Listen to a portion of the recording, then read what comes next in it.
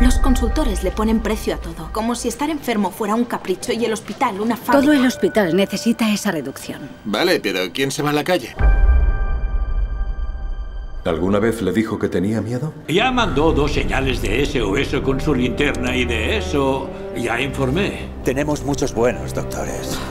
Y por eso despides a los que sacan cosas a la luz. La lealtad es algo que esperamos de nuestros empleados.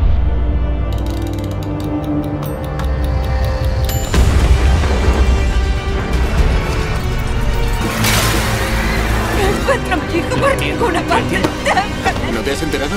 Una bomba en Oslo. Que nadie se vaya a casa. Tenemos que estar todos preparados.